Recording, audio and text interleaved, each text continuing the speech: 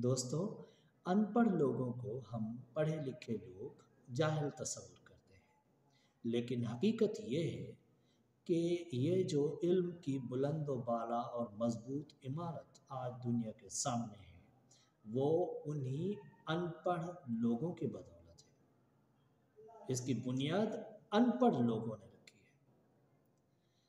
ज़रा सोचिए, वो शख्स जिसने सबसे पहले एक सीधी लकीर खींची और हमको अलिफ पढ़ाया। वो तो अनपढ़ ही था ना। उससे पहले अलिफ का तस्वुर नहीं था। तो जनाब, जो अनपढ़ लोग हैं, उनको जाहिल ना समझें, उनका एहतराम करें।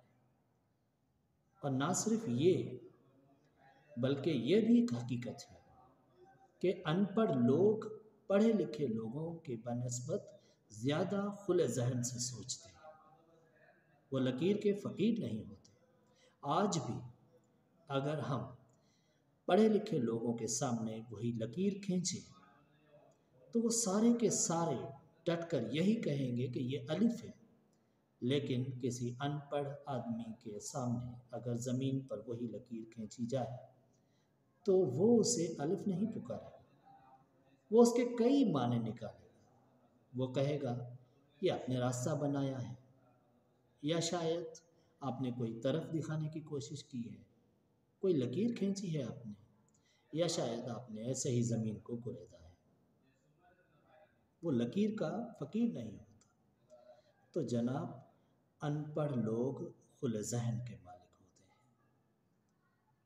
और मैं आपको ये भी मशवरा दूँगा कि चाहे आप कितने भी पढ़े लिखे क्यों ना हो, लेकिन जब भी सोचें तो अनपढ़ होकर सोचें, अनजान होकर सोचें।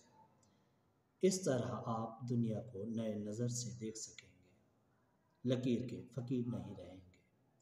खुले जहन से कई तस्वुरात कर सकें